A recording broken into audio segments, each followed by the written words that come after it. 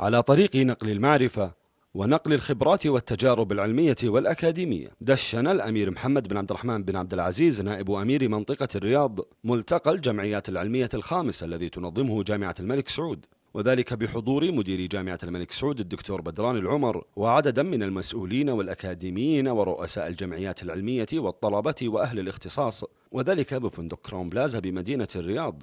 الملتقى يشتمل على معرض ومنتدى وورش عمل منبثقة من الفروع العلمية الأساسية وهي العلوم الإنسانية والأدبية والعلوم الصحية والطبية والعلوم الإدارية. الجمعيات تقوم بدور هام جدا في المجتمع السعودي وهذا يتسق بشكل كبير مع رؤية السعودية 2030 نحو مجتمع واع. فالجمعيات تقوم بدور هام جدا في توعية المجتمع من بكافة جوانبه. كل جمعية من هذه الجمعيات تخدم المجتمع من زاوية ومن منظور لا يخدمه آخرون.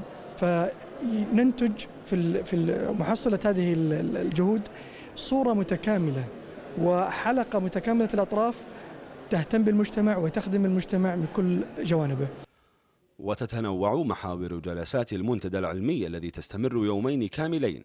وهي استراتيجية التخطيط والاستثمار في الجمعيات العلمية والجمعيات العلمية واستثمار الموارد لخدمة المجتمع. والأنظمة واللوائح والمساندة القانونية للجمعيات العلمية والاستثمار في المجلات العلمية المحكمة للجمعيات والتخطيط لاستثمار الفرص للجمعيات العلمية ومعايير تقييم كفاءة أداء الجمعيات العلمية السنوي. وتتطلع المملكة إلى استثمار المعرفة لتكون رافدا من روافد الاقتصاد الوطني والاستفادة من خبرات ونصائح الخبراء والباحثين والعلماء للدفع بخطط التحول الوطني الطموح إلى الأمام بسواعد أبناء المملكة لتنويع الاقتصاد وخلق بيئة عمل شفافة تتناسب مع خطط النهضة الشاملة الخاصة برؤية المملكة 2030 سعود النشمي الإخبارية الرياض.